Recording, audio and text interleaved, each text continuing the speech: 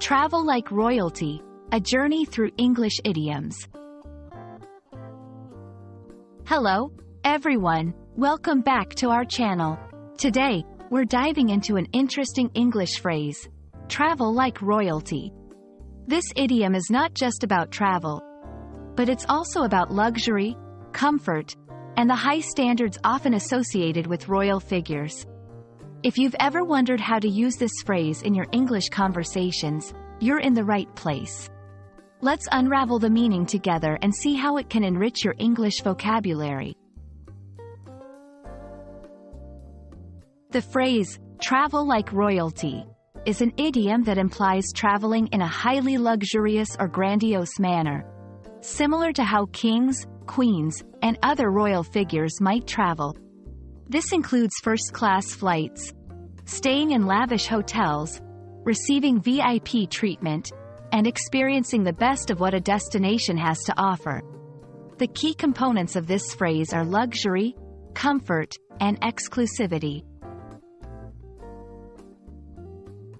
Historically, royalty traveled with an entourage, carried in ornate carriages, and stayed in the most opulent quarters.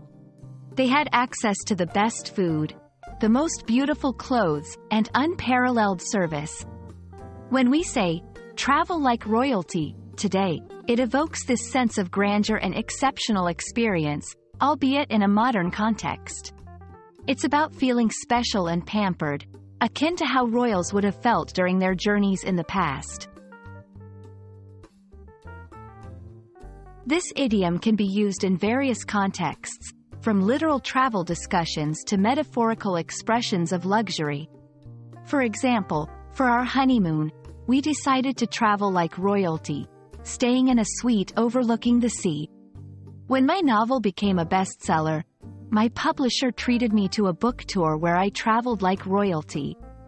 It's a versatile phrase that adds a touch of elegance and extravagance to your speech or writing.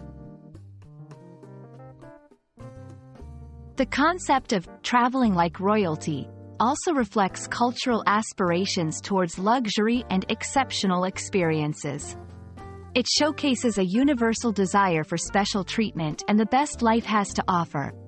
In learning English, understanding such idioms can provide insights into cultural values and aspirations, enriching your language skills and cultural comprehension. We hope this exploration of travel like royalty has been enlightening.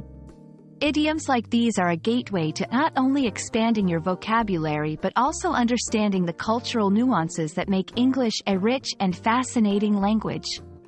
Remember, learning is a journey, and today, you've traveled it like royalty. Thanks for watching, and see you in our next video.